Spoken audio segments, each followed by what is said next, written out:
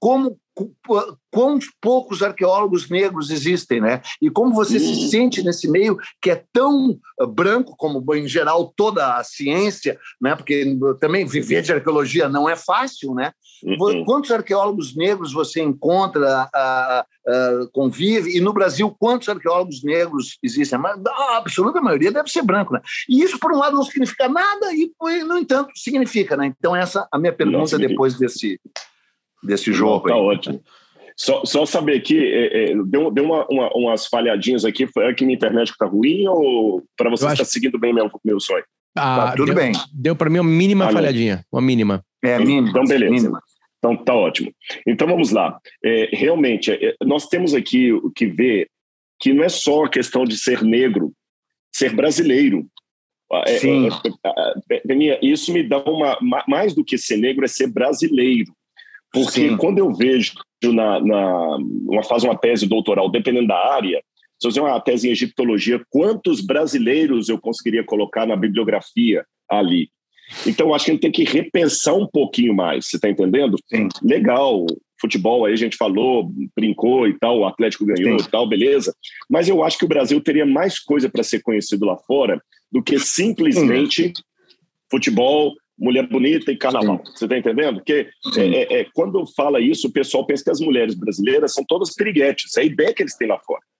É a ideia que eles têm lá fora. Sim. E que o Brasil é um monte uhum. de cara que, que gosta de ficar preguiçoso e dar um 7-1 em você. É a ideia que eles têm. Eles não levam a sério o Brasil. Aí alguém pode estar do outro lado falando assim: pois é, mas o Peninha perguntou para ele da pele, ele tem brasileiro, porque esse é um negro que não se assume como negro. Gente, para com isso. Eu me assumo como negro o racismo existe. Só que o que, que eu estou percebendo hoje? Eu não posso criar, é, é, claro, pessoal, claro. Uma, uma, uma, uma africanização. Uhum. Vou, vou, começar já. Eu participei de um debate esse tempo aí num programa que, que uma, um, um, ativista negro ficou bravo comigo. Ele falou: Você está andando muito com brancos. Eu falei: Então quer dizer que eu não posso andar com branco? Né? Se ele descobrisse que minha mulher é branca, então ele cortava os pulsos, você está entendendo? Coisa louca. Né? Então o que, que é. acontece? A coisa está partindo para um ponto que eu lembro, Sim. no debate li a questão era sobre Jesus. Aí falou assim: Jesus era negro, Sim. Jesus era negro. Aí, para combater uhum. aquela europeização de Jesus, sei que é só um exemplo, a sua pergunta, a sua pergunta não foi essa, mas só para ilustrar, para combater Sim. aquela visão eurocêntrica de Jesus, que de fato é uma visão uhum. distorcida, o Jesus Sim. de olhinhos verdes e cabelinho uhum. loiro com carinha assim, aquela é uma visão renascentista distorcida, mas olha como é o pessoal quer combater aquilo. Foi falado uhum. isso textualmente. Querem uhum. esconder uhum. que Jesus era negro. Eu falei, peraí, peraí, gente, Sim. que besteira é essa? Jesus Sim, não era africano. Jesus era uhum. asiático. E quando, na Idade Média, é, a Igreja Católica começou a colocar aquele Jesus branco europeu de olhos azuis, não foi para apagar a ancestralidade negra de Jesus, foi para apagar a ancestralidade judaica de Jesus. O que havia na Europa naquela época não era racismo no sentido de negros, era antissemitismo. Exato. O pessoal não estava nem aí para a África na Europa. Você tem entendendo? Agostinho de Hipona era africano e, e, uhum. e, e, tudo mais. Você tinha grandes bispos de Cartago, de outros lugares lá e tudo. Então, quer dizer, é, é, é o pessoal não estava nem aí. O negro ele vai ser realmente assim escravizado, é, é, é, oprimido num determinado certo. período tardio. Sim, tardio do século XV, início do XVI. Exatamente. E, e, muitos outros povos foram segregados. Então, eu, Rodrigo, em que pese é, é, eu levantar a bandeira que algumas coisas são importantes ser ditas assim. Por que, que não há mais negros na, na, na, na, na política? Por que, que não há mais negros na, na, na arqueologia, como você perguntou, na academia, na USP, dando aula na USP? Por que não há mais negros? Eu acho que isso deve ser colocado. E a pergunta pode claro. se estender também, por que, que não há mais mulheres? Mas tem que se estender com certa parcimônia e sabedoria, porque senão, daqui a pouquinho eu vou entrar numa neurose que não faz sentido, porque antes eu ficar questionando por que, que não há negros na arqueologia? Eu fui à luta. Sim. Só porque pode olhar, desculpa, tem muita gente também, Peninha, que quer usar é, pautas claro. sociais para justificar a incompetência dele. Lógico. Você está entendendo? Tem cara que quer usar a pauta social para justificar a incompetência dele. Pô, caramba, eu vim de uma família pobre, tóxica, com problemas domésticos, de violência do, doméstica em casa direto, muitos traumas. Daria para escrever um dossiê só de traumas emocionais que eu tenho. Você está entendendo? Mas eu vi que o mundo não ia ficar com mais dozinha de mim se eu ficasse no quarto escondido, revoltado no Twitter lá, falando frases de efeito. Pô, eu fui a, a, a, a, e com a graça de Deus, vocês sabem que eu sou religioso, não é mérito meu, eu acredito muito em Deus, eu tenho uma fé muito grande em Deus. Eu estou aqui hoje, para honra e glória de Deus, com dois doutorados, um pós-doutorado, duas faculdades, e dando entrevista para vocês. E sou preto, pô. Você está entendendo? Uhum. Agora, se for começar com esse discurso, só ficar no discurso, olha, eu vou dar um exemplo muito tácito, e ofenda-se quem quiser ficar ofendido. É, eu, eu falo assim, foram milhões de negros que foram mortos no Brasil. Tá, milhões de negros foram mortos no Brasil. Então agora o Brasil tem uma dívida com os negros porque os negros foram mortos no Brasil. Tá, eu como negro, eu vou pensar um pouquinho diferente. Quanto for que esses milhões de negros foram mortos no Brasil? Tem que ser do século XIX para trás, antes da, da, da, é, da, da, libertação. É, sim, é, tá, é, né? Sim. De 1888, 19 para trás. Sim. Sim. Então, do século XX para cá, o Brasil não matou milhões de negros, sabe? Teve muita pessoa hum. que a, a, a, polícia foi lá na época da, da claro. ditadura militar e matou, mas não foi só negro. Matou gente não. pardo, matou gente branco, muitos foram exilados e tudo mais. Agora, vamos pegar os judeus.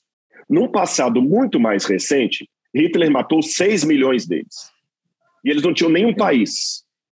Em 48, depois da guerra, quando eles estavam totalmente arrebentados, um pedacinho de terra lá, que é o atual Israel, que 63% do país é deserto. Foi o que eles ganharam. Eles ganharam um país com 63% deserto, com os inimigos todos, com os vizinhos todos odiando ali, porque a Síria odeia Israel, o, o, o, Líbano odeia Israel. Conseguiram um acordo ali com a Jordânia e o Egito e só. A Arábia Saudita também não. E ali eles foram, criaram um país de primeiro mundo, com gotejamento, como a Universidade Hebraica, pequenininha, que já deu não sei quanto, quantos prêmios Nobel, quantos prêmios, você vai para a Universidade Hebraica, só tem professor premiado aqui, premiado ali. É. Israel mais de 20. Mais de 20.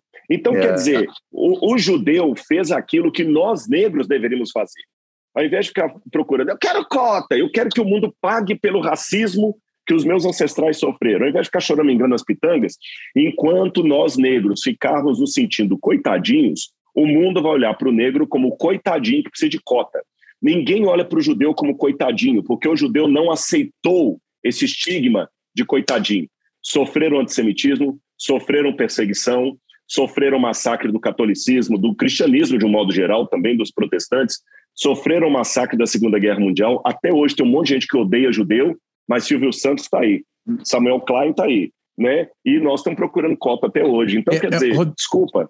Rodrigo, o, o, desabafo é bem colocado e, e, e, e, talvez a pior parte seja de uma forçação de história, né? De uma, eu sei que a, a história é contada pelo poderoso e o poderoso também contou a história como quis, né? Uh, para machucar judeu, para machucar negro, né? Agora, uh, o que um arqueólogo, que um cientista busca é verdade. A gente está descobrindo muito isso na pandemia, né?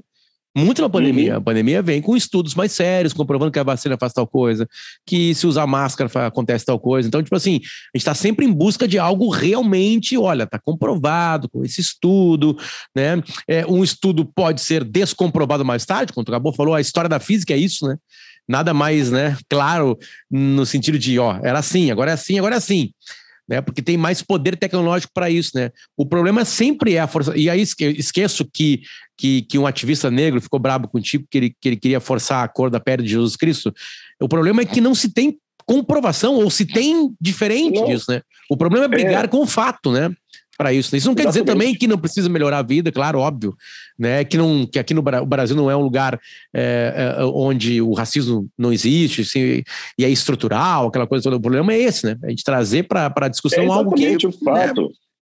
Porque senão você vai, vai, vai criar o ponto da carochinha aos avessos. Eu vou criar um Jesus que agora também não é Jesus. Você está entendendo? Jesus não é mais judeu. Nem, qual foi o grande problema que você está falando da academia que a gente passou? Por anos e anos, não só a arqueologia, mas a teologia também, porque eu também sou formado em teologia. A teologia construiu um Jesus não judeu. Isso foi um Sim. retrocesso. Um Sim. Jesus não judeu, esquecer as raízes judaicas de Jesus. Agora, ao invés de eu colocar Jesus no raízes ambiente... judaicas dele em todos os sentidos, né? Não em apenas biológicos, mas de religião, né? Religião culturais, dele, culturais, né? religiosos.